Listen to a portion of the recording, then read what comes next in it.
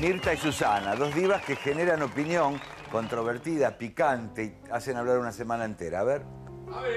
Yo hice mucho para que este gobierno ganara, para que Cambiemos ganara. Pero ahora me permito muchas eh, sugerencias en contra de ciertas actitudes, por ejemplo, lo- las tarifas que son tremendas, tremendas. ¿Le pidió algo el presidente especialmente usted? ¿Yo a él? Sí. Sí, algo, no, algo algo le pidió. le pidió, algo le pidió. No, no, no, no, no. Agarraron un país que estaba muy mal en el 2001 Totalmente. y entregaron un, un país que, que sigue funcionando con sus aciertos, Con las cajas errores, vacías, con chicos, cosas, con las cajas pero- vacías en los bancos, por favor. Seamos realistas y digamos la verdad. Yo confío mucho en este gobierno, confío en, en- en Macri y su, y su entorno, es gente honesta. Como vos, como vos, como vos. Yo los veo como patriotas, ¿viste? Como necesitamos esto. ¿Te gusta esto, que se cierre la grieta? Mi amor, sí, que se cierre la grieta me parece bárbaro, porque no existía la grieta hasta que vinieron los K.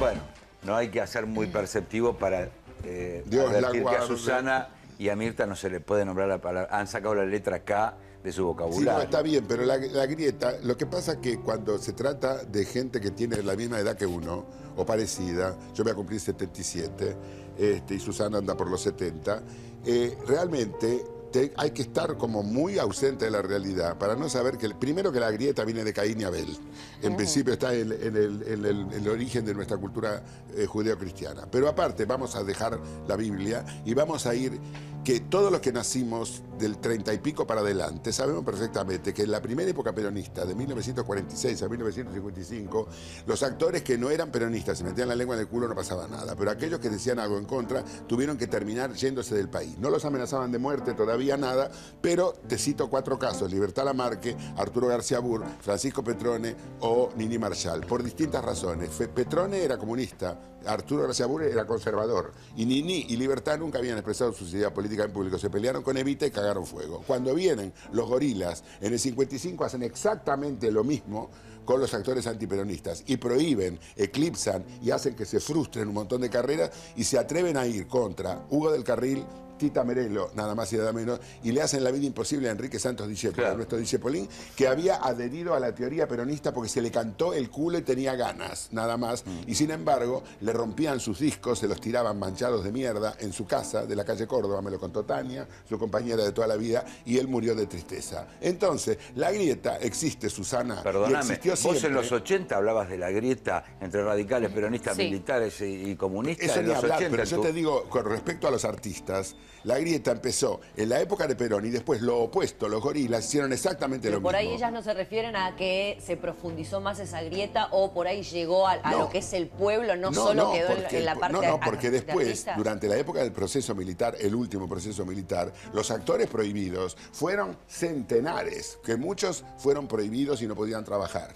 O no podían trabajar en medios masivos. Otros directamente tuvieron que irse para salvar De su hecho, se vida. fueron. Y otros desaparecieron, como el padre de Juan Diego Boto, Diego Boto, o el hermano de Osvaldo Pacheco, Polo Cortés, que nunca apareció, apareció sangre en su departamento, o la gente, o el- un técnico que tenía este. Marilina Ross, en su, en su- cuando Ajá. amenazaron a Marilina, y el técnico de sonido tenía un hermano gemelo, y el hermano gemelo trabajaba en las villas como concientización social. Sí. Se confundieron Uh, y lo llevaron se llevaron al otro hermano. y apareció en una zanja muerto sin testículos eh, uno- unos años más tarde. ¿Cómo se llama eso si no grieta? ¿Cómo se llama que vos te tengas que ir de tu país amenazado de muerte? Es más, la AAA amenazó también a Carlos Monzón y Susana Jiménez por las escenas de la Mari. Yo recuerdo perfectamente en el 74 estaba prohibida, no prohibida, estaba eh, amenazada Isabel Sarli por- y Armando Bo.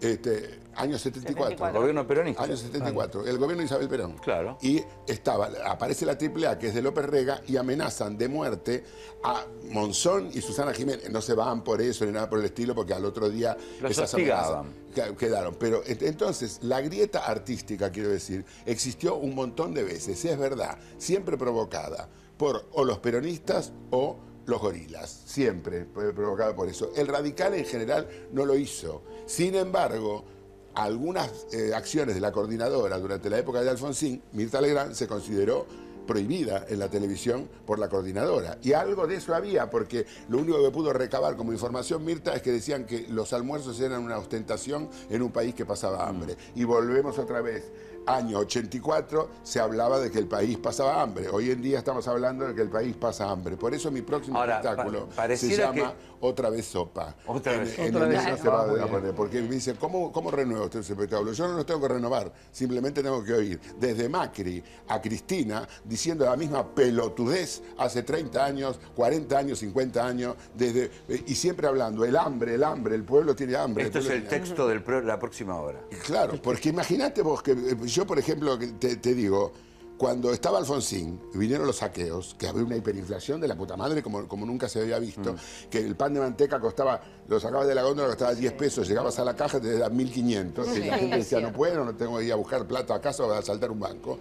Empezaron los saqueos. Cuando empezaron los saqueos, ¿qué dije yo? Porque no es que le digo a los demás. ¿Qué, dije el, qué dijo este pelotudo? El hambre que debe tener la gente, que la gente tiene que ve- verse obligada a la humillación de ir a saquear un supermercado por el hambre que tiene que tener. Alfonsín dijo renuncio y al otro día se acabaron los saqueos. Que apareció Cormilló con un régimen especial, Claro. como adelgazar sin comer. No, entonces se viene jodiendo con el hambre que existe y que es un horror desde hace más de 40 años.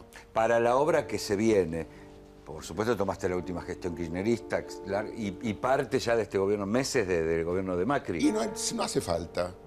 No hace falta ¿Por? referirse a una, a una administración a la Estás otra. tan vigente como Cambalache. Claro, re- eh, repetís el texto y decís lo mismo y cae para todos, porque la pesada herencia recibida, en mi caso son los huevos, que ya los tengo por el piso.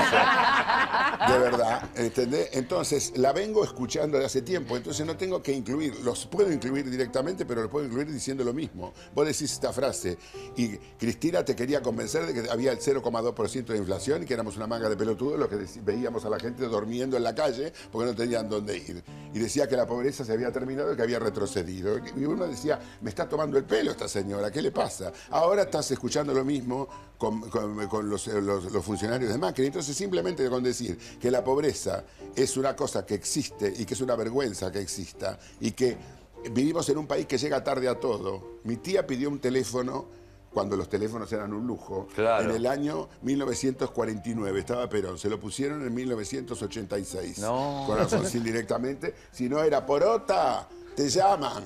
Claro. la, la vecina que a tenía dar una privilegiada que tenía teléfono. Yo una vez estaba en, en- en España, en Madrid, en el año 81, y estaba conversando con un montón de amigos, amigos este, argentinos que- y amigos españoles también que estaban ahí. Entonces yo conversando de un amigo en común le digo, no, ya lo vendió el departamento, por suerte, ¿sabes? Que no, lo, lo- lo vendió a buen precio porque tiene teléfono. Ah. Los tres españoles me dijeron, ¿puerta tiene también? Porque, Para ellos tiene era como decir, puerta, tiene puerta el departamento. ¿te das cuenta? Y estábamos hablando del 81, donde nosotros hoy en día hay un montón de nostálgicos y un montón de pelotudas que hablan por la televisión que dicen, porque en el año 80, en el año 80 no tenías teléfono en un país donde todo el mundo, donde Paraguay tenía teléfono y nosotros no teníamos teléfono, donde eh, eh, Colombia tenía, hablando de países latinoamericanos que también pueden tener problemas de desarrollo, pero el teléfono lo tenían y nosotros no teníamos no. teléfono. Teníamos otras cosas que ahora no tenemos, desde luego, pero no había teléfono acá. El primer semáforo que yo vi en mi vida fue en Diagonal Norte en el año 1956. El otro día, por la televisión española, veo una película de Rovira Veleta, un director catalán que era como neorealista, del año 56, 50, perdón, 54, que llamaba El Expreso de Andalucía, de un robo famoso que hubo del Expreso de Andalucía, y tenían semáforos en Madrid.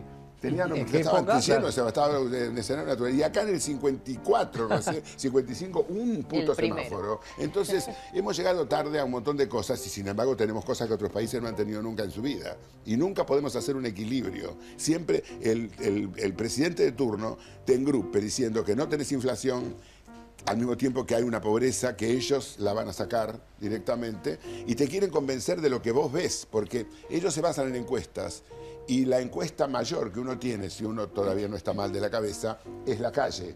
Y uno ve en un país donde ves tanta gente durmiendo en la calle desde hace más de 35 años, a través de todas las administraciones, con neoliberales, con eh, populistas, con esto, con lo otro, y ves la misma mierda siempre, hay algo que no, no- que no funciona. Pero me parece que hay temas que son comunes a todos los países. Porque, por ejemplo, Sí. yo siempre digo, no, porque Argentina, la corrupción. Digo, andate a Madrid una Mirá, semana mirá y vas es a venir de corrupción información hasta acá, de ¿Pero información cómo? de corrupción. ¿Cómo? Vos que conoces España sabés que está podrida de Y corrupción. no solo eso, sino que la justicia también es relenta, porque recién ahora están, están poniendo de nuevo, después de siete años, la trama Gürtel. y Sí, que todas es todo desde el proceso de cuando estaba el PP, el que Partido debían Popular. estar presos todos porque de- deben cualquier cantidad de plata, pero se han ido zafando porque han estado en gobiernos, el, el gobierno los ha protegido directamente. No es tan desfachatado como acá, porque acá tenemos un aire sainetesco, que ellos también lo tienen, los españoles, pero es distinto.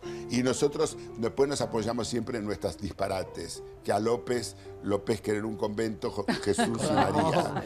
Esas son cosas nuestras directamente, que en, un día de cinco presidentes el primero se llame Puerta, es algo... que esos son los chistes que vienen servidos directamente para que nosotros no nos muramos de risa, que som- somos grotescos y ridículos a propósito. Pero cada país tiene su grotesco, si no, no existiría Trump.